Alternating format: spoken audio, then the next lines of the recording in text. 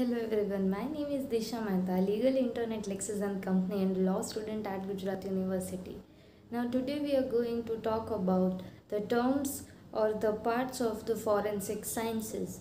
So what do you mean by the term forensic science? So let us know about the same. So basically forensic science is an integration of nearly all scientific skills and act as a critical and qualified tool that makes the dispensation of justice possible in criminal, civil, legislative and social context. It helped to describe all of the science's applications in addressing the questions of legal significance. Forensic science is now a highly advanced research method used in criminal and civil investigations, able to address critical questions and an integral part of the criminal justice system.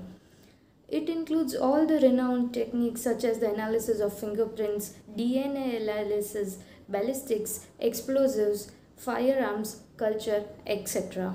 Now, what are the parts of the forensic sciences? So, the first one among them is the forensic odontology which means forensic, forensic dentistry assists in identifying victims when the body is left in an unrecognizable state.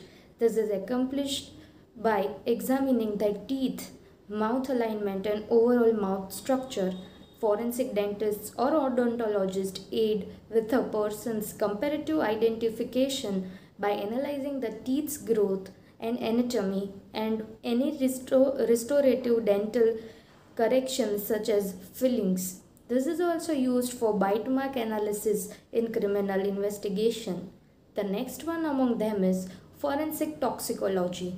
Now, the chemicals legally recognized as having the abuse potential are considered controlled substances. This includes illegal drugs like cocaine or heroin and prescription medications like oxy- oxycodone. Detecting and recognizing these controlled drugs play a vital role in helping law enforcement authorities combat opioid addiction and drug-based violence. Forensic toxicology includes biological sampling of processing in order to test for the for existence of toxins and medications. This forensic science division is of vital importance in road accidents, poisoning, sexual assault, etc.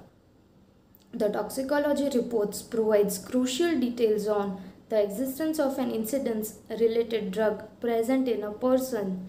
This also determines whether the amount of substance ordered by absorbed by a therapeutic dose is normal or exceeds the acceptable standard.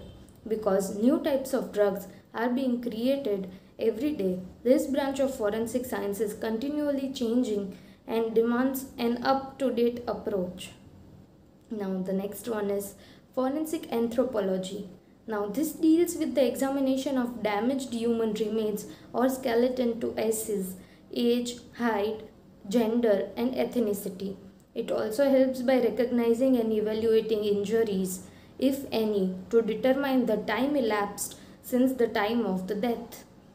The research offers useful leads on victim identification, especially in cases where the bodies are beyond recognition. Next one is impression and pattern evidence.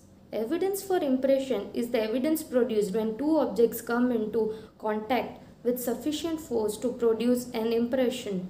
This can include a two dimensional impression, such as fingerprint, or a three dimensional impression, such as a bullet mark.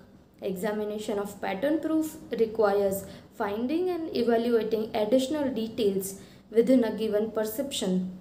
When used in conjunction, impression and pattern evidence can help in establishing vital link between a suspect or a tool to a crime scene.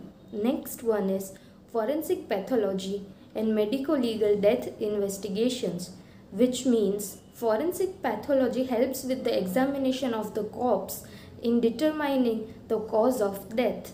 Forensic medicine requires gathering and examining medical samples in order to deduce facts which are admissible in the court of law. Identification of wound patterns, for example, can aid in identifying the weapons used to inflict the wound. Furthermore, forensic pathologists may investigate weapons or other projectile deaths involving exit and entry wounds.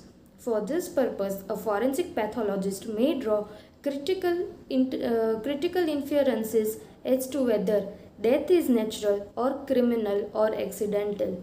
Now, the rest of them will be done in the part 2. We'll know more about the same in the second part. Thank you.